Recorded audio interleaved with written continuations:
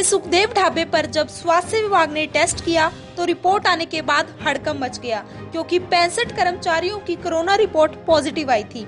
रोज़ाना हज़ारों लोग हाईवे पर सफ़र करते हुए ढाबों पर खाना खाते हैं, जिसके चलते करनाल स्वास्थ्य विभाग ने अलग अलग जगह जाकर ढाबों पर काम कर रहे कर्मचारियों के कोरोना टेस्ट करवाए, जिसके बाद सैनी ढाबे पर एक कर्मचारी कोरोना पॉजिटिव निकला, मयूर ढाबे पर चार झिलमिल पंजाबी ढाबे पर दो कर्मचारी कोरोना पॉजिटिव पाए गए। इनके पॉजिटिव आने के बाद 48 घंटे के लिए ढाबों को बंद कर दिया गया है। वहीं अब ढाबों को सैनिटाइज किया जाएगा। आ, आ, हमारी टीम हमने एक आ, टीम गठित कर रखी है जो हॉटस्पॉट्स पे जा रही है। वो उसी के उसमें चलते हुए आज हमारी टीम जो है डिफरेंट ईटरीज जो ढाबाज हैं और जो और ईटरीज जो हमारे शॉप्स हैं, उसके ऊपर वो टीम जाके उनके सारे वर्कर्स की टेस्टिंग कर रही है। तो मैक्सिमम आज हम इस सारे ढाबाज को कवर करने की कोशिश करेंगे कि जहाँ पे कहीं पॉजिटिविटी ना हो, कोई ऐसे संक्रमित लोग ना हो जो कि दूसरों को भी संक्रमित कर सकें। क्या कहना चाहेंगे?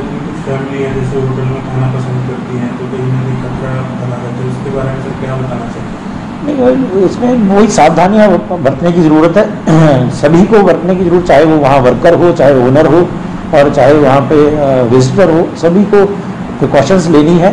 और एक और चीज़ मैं आ, कहना चाहूँगा कि जो लोग कहीं भी थोड़े से भी सिम्टम है हल्का फुल्का बुखार है या आ, उनको आईएलआई के जो सिम्टम्स होते हैं नज़ला जुकाम खांसी है तो वो वो इमीजिएटली अपना टेस्ट कराएँ।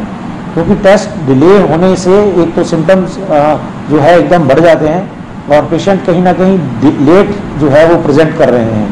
और इसके अतिरिक्त मैं उन लोगों को भी एक वार्निंग देना चाहूँगा जो इन ऐसे पेशेंट्स को मेडिसिन देते रहते हैं बिना अनऑथराइज तरीके से कि जिसके कारण वो टेस्ट कराने में डिले हो जाता है। और कहीं ना कहीं उस पेशेंट्स की देखने में आया, एक दो डेथ भी हुई है इससे।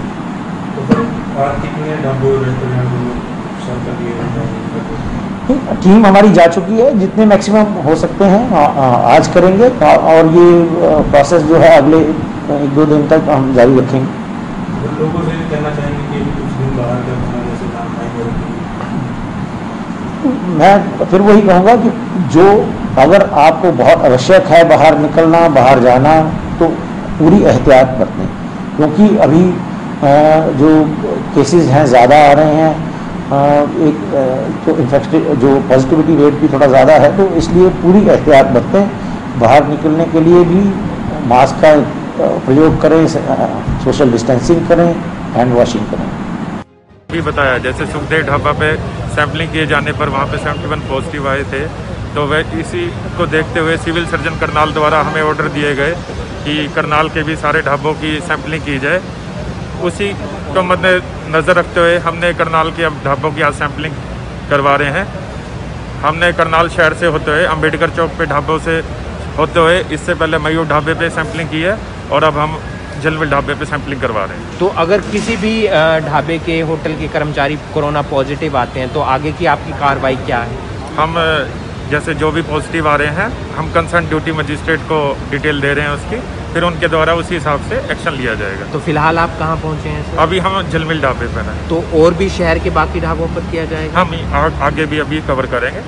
हमने ढाबे जितने हो सकेंगे आज उतने कवर किए जाएँगे। लोगों से क्या अपील करना चाहेंगे लोगों से हम यही अपील करेंगे सोशल डिस्टेंसिंग मेंटेन रखें आप मास्क पहन के रखें भीड़ वाले एरिया में ना जाएँ और सैनिटाइज अपने हाथ को करते रहें और हाथ धोते रहें।